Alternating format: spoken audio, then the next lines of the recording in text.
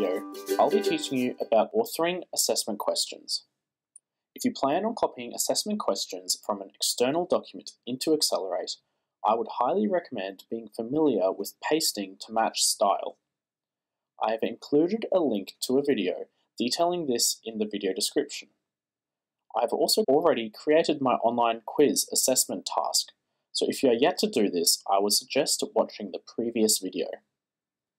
To begin, navigate to the Assessments menu and press Assessment Management.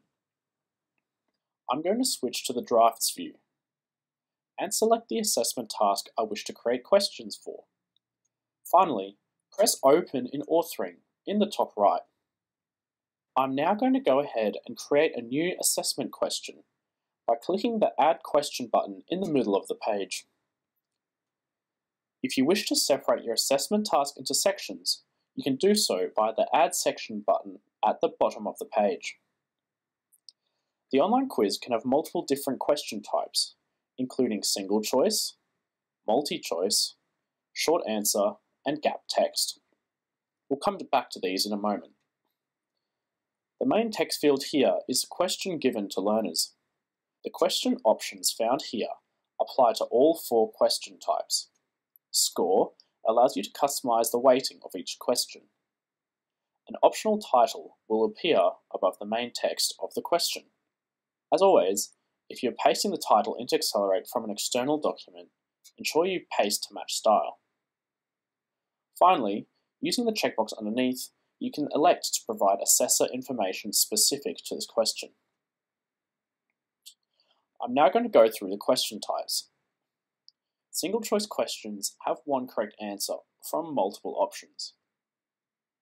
Multi-choice options have multiple correct answers from multiple options. All correct options must be selected in order to receive the points. To add choices for these types of questions, simply type into the blank fields provided, or press Add option to add further options. You can select the correct answer by clicking the checkboxes to the left. This button next to the words correct answers, when enabled, will randomize the order that the options appear to each learner. Short answer will require learners to type their answers, and an assessor to give the answer a grade. You must provide a model answer, and you may also create a marking scale. On screen now is an example marking scale that I've created. Gap text is simply a fill-in-the-blanks type question Type in your question into the field as normal. To add gaps in your text, click this button on the right of the formatting options. This will insert a gap object into the question. You can customize this gap object by clicking the three dots to the right of each gap.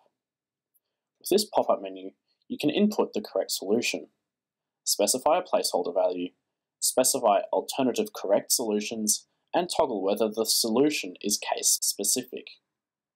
Once you have finished creating a question, click Save Question. As you can see, the question is now minimized. To open it up again, simply click the question. There are some additional options displayed on the right when you mouse over each question, allowing you to update, duplicate, or delete the question. You can move questions around via drag and drop. To move sections, click the arrow icon next to the section title.